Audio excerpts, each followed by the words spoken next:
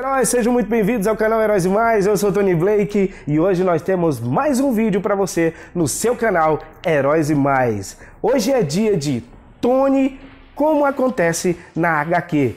Esse quadro a gente criou aqui para que você soubesse realmente como que as histórias que passam no cinema acontecem na HQ. E hoje a gente tem uma história super legal. Hoje é dia de a gente falar sobre o simbionte alienígena que toma conta da vida de Ed Brock, mas antes ele tomou conta da vida do Homem-Aranha do Peter Parker. Mas a gente sabe que foram feitas duas versões para o cinema dessa história, mas essas duas versões não têm nada a ver com a história em quadrinhos. E é isso que a gente vai falar para você aqui agora. Mas antes da gente começar, eu gostaria que você fizesse um favorzão e se inscrevesse no nosso canal, tá bom?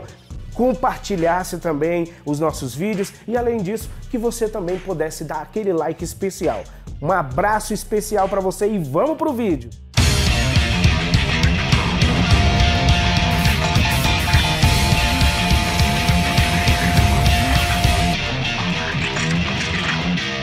E como você sabe, o simbionte alienígena Venom é um dos mais digamos assim, é, rivais do Homem-Aranha, junto com o Ed Brock. O Ed Brock, que sempre foi rival do Homem-Aranha no Clarim Diário, ele que sempre foi um paspalhão, um cara que é, só fazia coisas erradas e etc, etc. Mas uma das versões o Ed Brock conhece nos cinemas, o Ed Brock conhece o Peter e a outra versão ainda não foi mostrada, que foi o último Venom que foi feito, não mostra se ele conhece ou se vai ainda conhecer o Peter.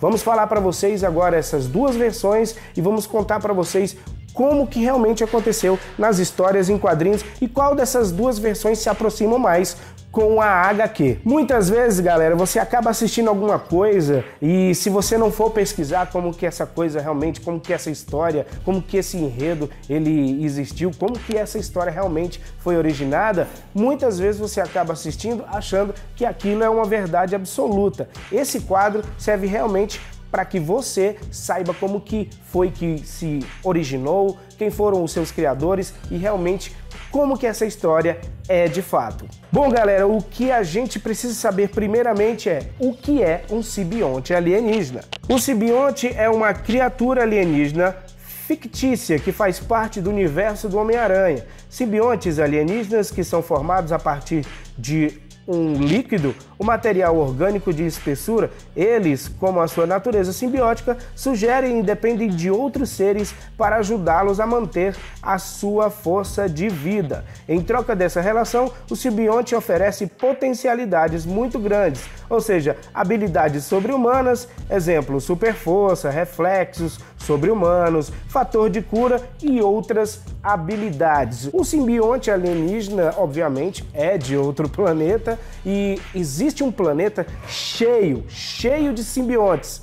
Esses simbiontes, eles partem para outros planetas e nesses outros planetas, o que, que eles fazem? Eles tomam conta da vida dos seres humanos, dos habitantes desses planetas, para absorver energia e assim eles poderem, é, poderem viver um pouco mais e continuar aí a sua a sua vida útil, ok? Então, existe um planeta de simbiontes, existe até uma história onde o Peter Parker e o Ben Haley e o Venom vão para o planeta dos simbiontes e lá eles, eles descobrem o carnificina e etc. Mas isso é uma história para outro vídeo. Bom, como eu disse para vocês, foram feitos dois filmes onde a origem do simbionte ela foi contada. Tanto a origem do simbionte, como eles chegaram na Terra, como também a origem do Venom. Vamos, vamos então para a primeira, que foi Homem-Aranha 3. Em Homem-Aranha 3, a gente viu que o simbionte ele chegou de uma forma inesperada, veio aí através de um meteoro, o meteoro caiu na Terra, tava lá o Peter Parker com a Mary Jane namorando,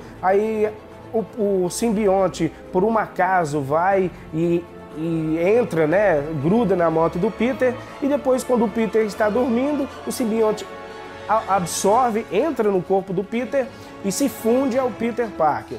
Daí o Peter fica assim meio doidão, vira emo, né? Fica meio revoltado com a vida, fica todo descolado e tal, começa até tem até a famosa dancinha do Peter.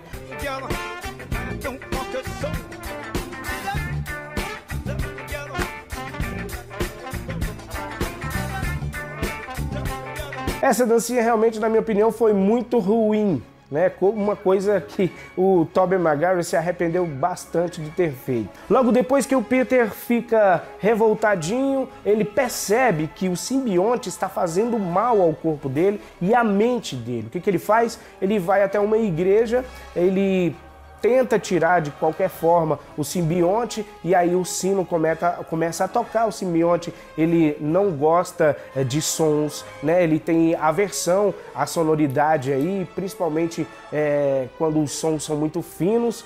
Então o que que acontece? O simbionte cai, sai do Peter.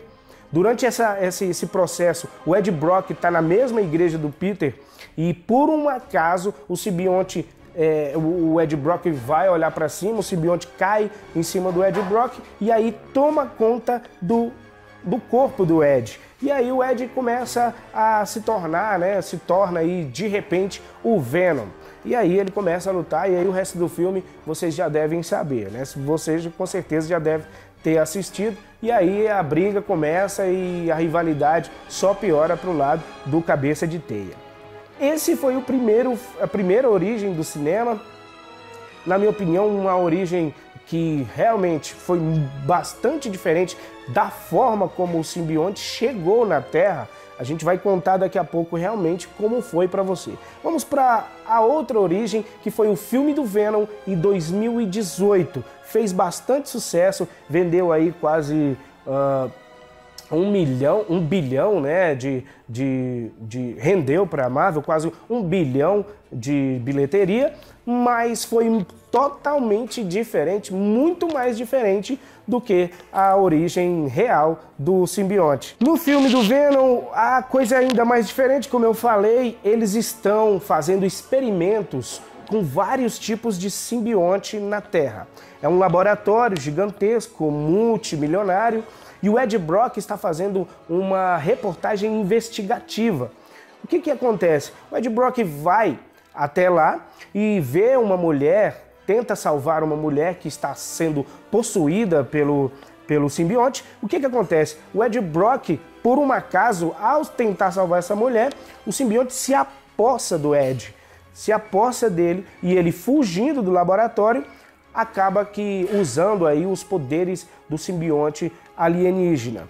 Totalmente diferente. Galera, essa origem com certeza vai ser a origem que vai ficar para os filmes da Sony, porque além de ter vendido muito, a galera ter gostado bastante dessa origem aí, com certeza eles vão usar o Homem-Aranha, que agora retornou para a Sony, na sequência dos filmes do Venom. Tá todo mundo falando que possivelmente Venom 2, o Homem-Aranha deva aparecer aí nas cenas pós-créditos. Então, essa versão que é totalmente diferente da versão original, com certeza, 99% das chances é a versão que vai ficar. Aí vem a seguinte pergunta, a grande pergunta desse quadro. Tony, como aconteceu na HQ? Como é que o simbionte alienígena ele chegou até a Terra.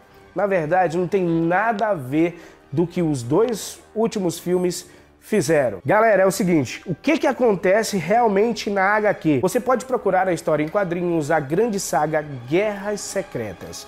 O que que acontece? O Beyonder, um dos grandes vilões, não sei se eu posso chamar de vilões, mas acho que é vilão sim, porque ele é meio perturbado do juízo.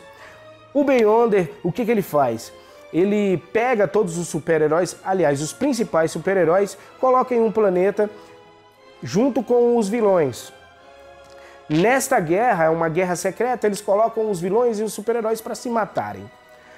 Em uma dessas histórias, são várias histórias, em uma dessas histórias, o Peter Parker, que sempre foi muito curioso, diga-se de passagem, o que que acontece? O Peter, em um dos laboratórios lá, onde está o Doutor Destino, onde está muitos vilões, ele descobre que tem uma, um, um, um simbionte lá em forma de uma pedra.